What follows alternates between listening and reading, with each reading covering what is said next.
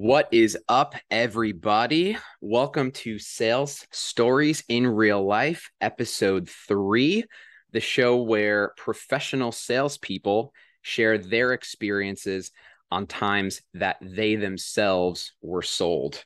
Today, we have a very special guest.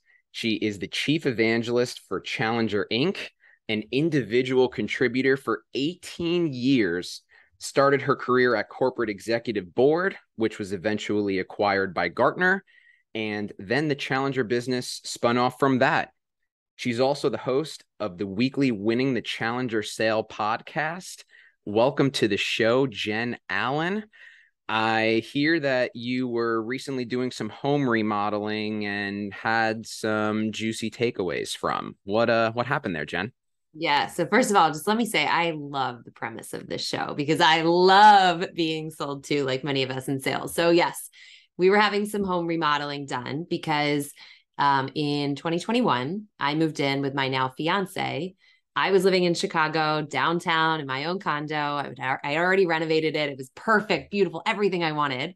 But he has kids, so it didn't make any sense for them to move to me. So I came out to Arlington Heights in the suburbs of Chicago. Now he has an amazing home, lots of bedrooms, great location. The structure is great, but it's never been updated or renovated. So we sought out to say, hey, we want to look at our master bedroom and bath. We want to look at the kids' bath. We want to look at the kitchen and the living room. And then we want to figure out how we can get all that done for a reasonable price in a reasonable time frame. So, like many of us do, we reached out to three contractors to try to get an idea of what it was going to cost, what was going to look like, how much time it was going to take. And then in the process of doing that, um, his family member actually reached out to him and said, Hey, we had some work done with someone else. You should consider them as well. So, all in, four contractors. So, we had each of them come to the house and we took them through a tour of the house, walked them through what we wanted to do. They asked questions around things like, you know when do you want it done by and what color do you want and what kind of you know materials do you want for the cabinets and countertops and all that stuff that we expected. And then all three of those pretty much at the end said okay we'll get back to you in a day or two with a quote. So essentially the sales experience i had with all three of them was identical right? You tell us what we want we'll tell you how much it costs. And where it started to divide a little bit is one of the contractors got back same day one of the contractors got back a week later. One of the contractors we actually never heard from, like they never even sent us a quote. So that was that. Now, the fourth guy, James, was the one Nick's family member had worked with. So James came in, did the same thing. We walked him through what we wanted to get done. James sat there, he listened, wrote notes, paid attention to what we were saying, great active listening, just like all the other guys. But when we were done talking, James said, Do you mind if I ask you a question? And we're like, Sure, go for it. And he goes, why are you wanting to do these renovations now? And so I jumped in. I was like, well, you know, I had just finished updating my master bedroom at my condo, but I moved in here a couple months ago. And so we really just want to update the place. I had this amazing shower and I was going on and on about the shower and what it was like remodeling that. And so he said, okay, so take me upstairs to the bedroom, the master bedroom and bath. And I want to see kind of the space. So taking him through it. And he's like, okay, now you said you just wanted to kick this wall back a little bit and put a bigger shower in here. Is that because you missed the big shower you had at your old place? I was like, yeah, exactly. And then he looks at me and he's like, would you be open to a different opinion? I go, sure. And then he turns to our master closet and he goes, this should really be your shower. This is like that spa experience that it sounds like you miss so much about your place. And what if instead of kicking this wall out and making this a bigger shower, we actually use this room for a bath and then put your master closet over here in this ugly office that neither of you are using. And so in that moment, I had done all this research. I had gone on Pinterest. Like I was like, I know exactly what I want. I want the shower tile. I want all of this.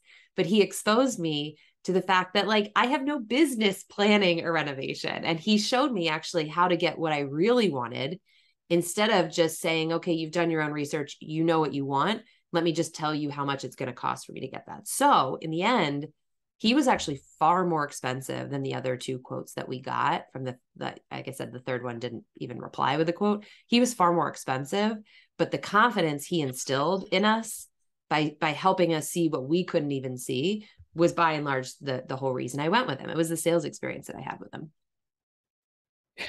Man, so let's break that down for a second. First off, Jen, it sounds like you practiced that story hundreds of times. was- I tell it all the time. I'm like, sound like James. He's amazing. Well, let me first point out the irony that the chief evangelist at Challenger Inc. was challenged by her home renovator.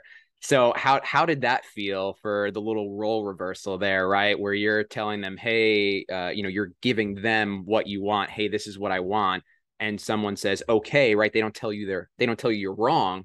They say, are you open to another opinion? So how how, how did that go on your end, right? Because you've done it many times, but I don't know how often it's been done to you. So how did that how did that go? Ah, Alex, it's such a good question. And you're exactly right. Like I love it when it happens to me because it's just like, oh, I know what's happening and I'm I'm along for this ride. The thing that he did that to me d- didn't make it feel aggressive was you you caught on to it. He asked a question, right? He was like, help me understand like what is even behind your desire to do this. None of the other people did. And by learning like what was my underlying belief system, what were my underlying assumptions, it allowed him to understand that if I challenge her, I'm actually challenging her so that she ultimately gets what she wants. I'm not challenging her to be right and show her that she's wrong and she should never be a contractor, though that's absolutely true. I'm challenging her because I know her end game.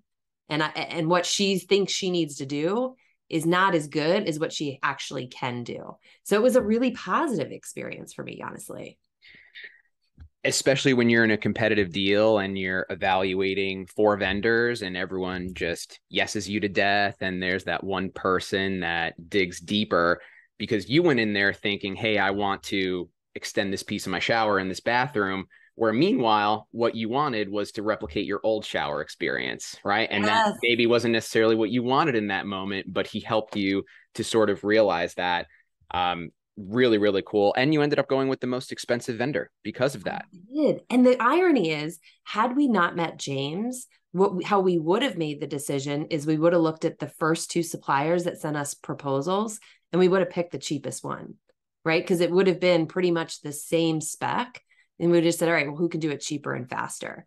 So that is exactly what we see in b2b like when we don't give a different sales experience we just walk our buyers into picking the cheapest option that's a perfect segue. So, what can what can a B2B seller or a professional seller listening to this right now take away from this and tie it into their process?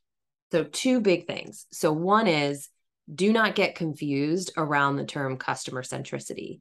I actually hate this term because how we as sellers, how I grew up learning how to sell is you are subservient to the customer and your job is to listen to what they think they need and hand it back to them on a plate that as we just discussed is a great way to be commoditized around price. Now if you're the lowest cost provider like hey run with it. Like maybe, maybe that works for you.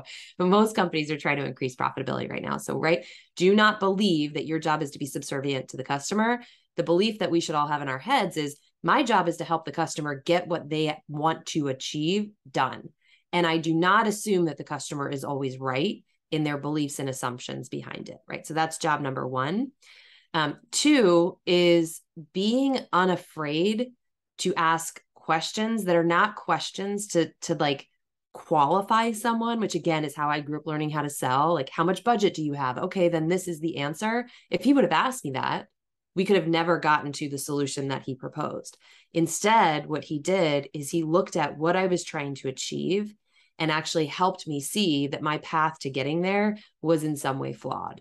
So using questions is a really, really safe way to approach that. So you don't come across sounding like a total bonehead and like you're stupid for thinking this is the right answer. So those are the, the two big things. And actually, if I add a third, it's like the sales experience is what absolutely made that decision for me. It wasn't his, you know, resume, it wasn't pictures of his previous job. It was just like I feel confident James is going to do right by us and and if we have a question that comes up, he's probably going to have a better answer than I could have had on my own we are here for all the Jen Allen takeaways. So if you want to go for a fourth, sixth, three's um, good. Do do do definitely continue going. Um, but no, I I really love this. I think there's a lot of amazing takeaways in this, obviously. and the key thing that I think you said there is that it's not doing so. Excuse me, not challenging them to be right you're challenging them to see the situation in which gets them to their result properly because that's a delicate balance right? We all have egos. Nobody wants to be told your thinking is wrong right? You're doing it the wrong way. So there's definitely a delicate balance there. Any sort of tips on how to make sure that you're not challenging someone to insult them but rather challenging them to make sure that they're ending up with their preferred destination let's just say? Yes you said that perfectly. Like I I want to just record that and share that soundbite with everybody because that's exactly it, right? If you go in trying to show the customer why they're wrong, what you will be met with is an offense defense dynamic. And in a customer um, seller offense defense dynamic, like 99.9% of the time, customer is going to win because for that for you to win means that the customer has to admit that they're wrong and just by human nature we hate doing that so it's the tone and it is the delivery of how you say what you say that matters. So again, questions, having like allowing that customer to realize themselves that maybe they've got something wrong instead of telling them you're stupid for thinking extending the shower is the right answer. That's a big one.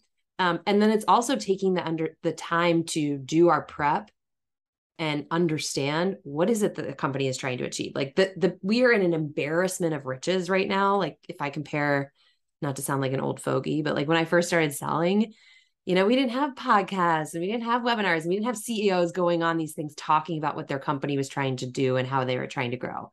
We do now. And so we can come in as sellers with a point of view on what they are trying to achieve and how it looks like they're trying to get there. But the, the last thing I will say on it is do not go in stating that stuff as fact. Unless we work within the four walls of that company, it is a hypothesis. And so where we get dinged, where I got dinged a ton when I first tried to do Challenger was going in and being like, you're trying to do this and you're doing it the wrong way. And let me show you the right way. Now it's like, I'll go into a conversation and say, look, I appreciate that you spent the time with me today. And so, in advance of this call, I saw that your CEO was talking about this acquisition you made in an effort to do this.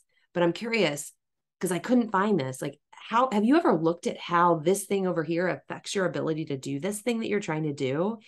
Eh, help me understand, right? And then again, we go back to human nature. We love to correct, we love to adjust.